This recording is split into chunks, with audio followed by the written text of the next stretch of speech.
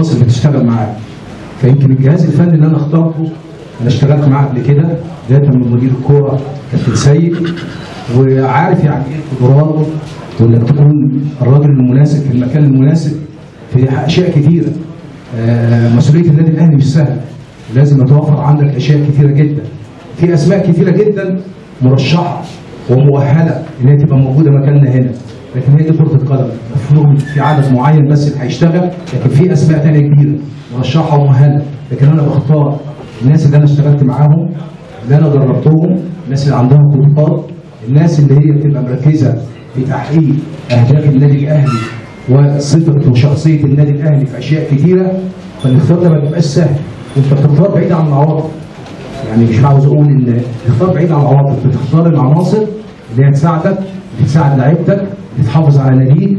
فيمكن دي بتاخد مجهود ولازم يبقى في تجارب. فعشان كده أنا بقول أنا طبعا آه، آه، ما كانش في نقاش إن يبقى في كابتن سبع وحفيظ على رأس الجهاز الاداري ومدير الكورة. طبعا معانا كابتن أحمد حليم هيبقى مدرب عام. معانا الكابتن سيد معوض هيبقى مدرب مساعد.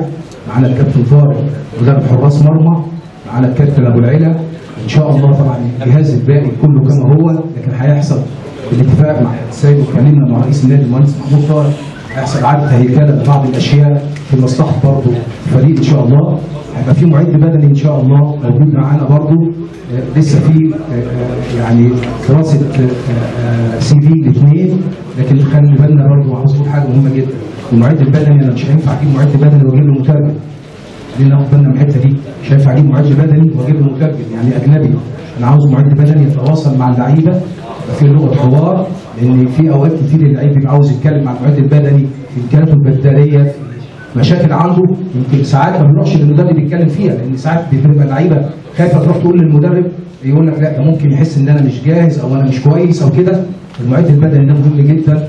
كابتن أبو العيد يعرف كده لغة الحوار بينه وبين اللعيبة. برضه أنا بفضل ان يبقى ناس من الأكفاء. إن شاء الله في بإذن الله يعني نتفق مع واحد عربي إن شاء الله مميز جدا. بس إن شاء الله إحنا اللي عنده خلال إن شاء الله آه، يومين بإذن الله.